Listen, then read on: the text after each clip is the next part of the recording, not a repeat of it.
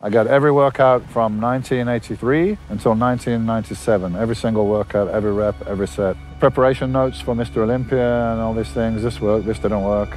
So very analytical, writing everything, analyzing, studying. His training diary was his life, and that was him. He knew if he followed X, it would equal Y, and, it, and that's what's been proven. He totally believed what he was doing was right. He had no doubts. That's half the battle. If you believe in something, you, you can make it happen. Blood and guts is just to the level where no one's willing to go. I mean, that's, that's what it's about. Turn the body inside out, no matter what it takes. He wasn't going to stop. He was a train.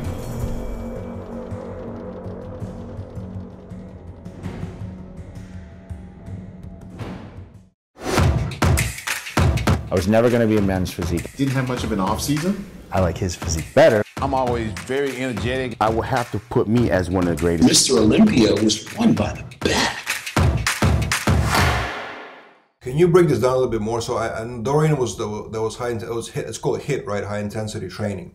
So, just for those for those who don't know, that's basically when you do uh, heavy weight, but short amount of reps and sets, right? Can you can you give me an example exactly what what that means? Dorian's Dorian's workouts and volume was so low that no one believed that that's what he was doing. He claimed at one point that he was training like three days a week or something like that. It's basically instead of doing five or six exercises, like nowadays I see guys doing six or seven exercises, four sets, ten to twelve per muscle group.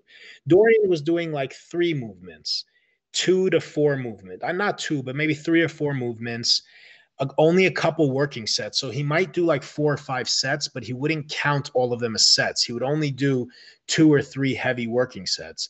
I also implemented another style of training that I, learned early on where it was four to six reps and literally two exercises for small muscles, three for bigger muscles. That's it.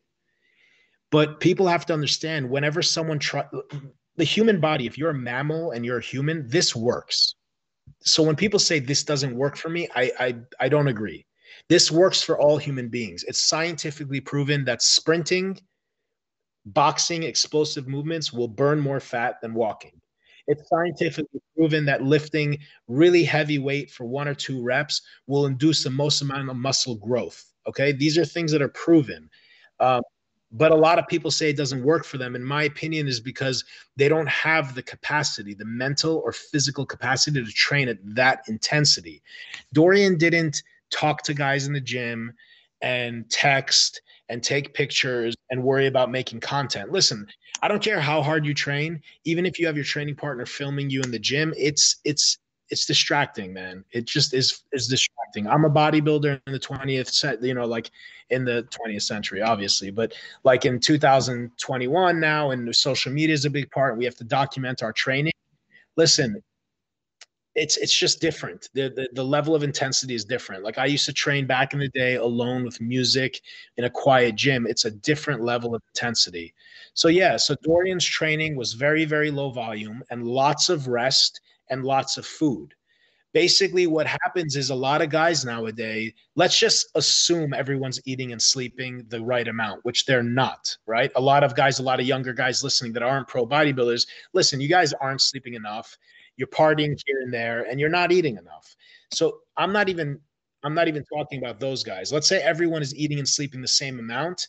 What's happening is guys are overtraining. And I know a lot of hardcore guys, Rich Piana, God rest his soul. I love Rich. But, you know, he used to say like overtraining is that, you know, there's no such thing. There, unfortunately, there is. You know, there is. You can overtrain. If you train too much, too long, there's a, there's a, a part, a, a, you, you basically, it's like risk versus reward, right? Diminishing returns. There's a point of diminishing returns where you're just breaking down, breaking down, breaking down, you're not allowing yourself to rebuild. So it can stunt your growth. It can stunt your gains. So what Dorian was doing is was he was hammering a muscle. He was stimulating it for growth and then just backing off and letting it rest.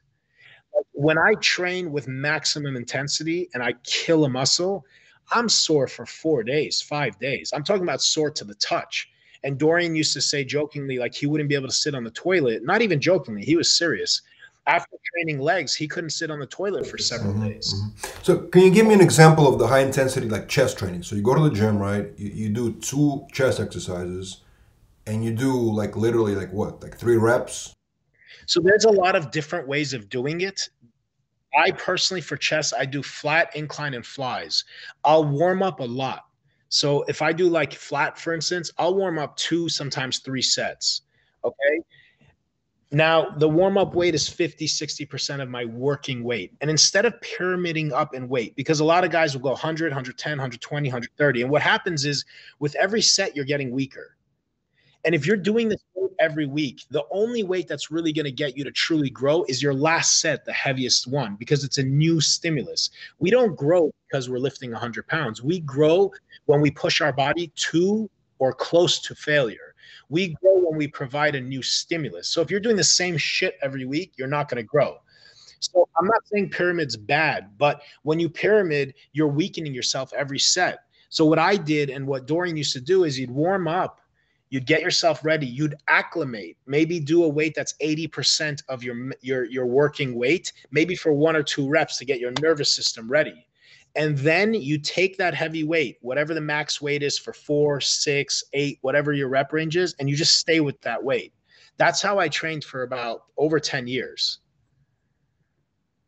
so it's very, very heavy and a lot less volume. Now, if you want to talk about three or four reps versus 10 reps, there's you can do both. You can do much lower reps, but the point is we're not doing seven exercises. Guys nowadays do six, seven exercises for back and legs. It's overkill. There's been days where I I did one or two exercises for my quads and I couldn't walk for a week what difference does it make? If you, if you do one exercise that's stimulating the muscle and it feels good just stay on that exercise and do 15 sets. But everyone thinks they have to do like so many different exercises to, to build a muscle. It's not look in life in general in your career in your job but especially in bodybuilding it's not what you do that's important. It's how you do it. So everybody asks george peterson what he just does for back. Everybody asks arnold what he did for chest. Bro besides all these fancy exception workouts like hanging upside down with chains, there's only a few exercises for every body part, right? There aren't that many. We all do the same shit. Incline, decline, flat, flies, cables. Me, Arnold, Ronnie, Dorian, George, we all do the same. It's how you do it. Just doing Arnold's chest workout is not going to get you looking like Arnold. It's the the control and the intensity. That's what the younger guys are missing. They're looking for the best rep range. There's no such thing. They're looking for the best routine. There's no such thing. Slow, slow the reps down, squeeze hard, push yourself mentally. And that's how you really make gains.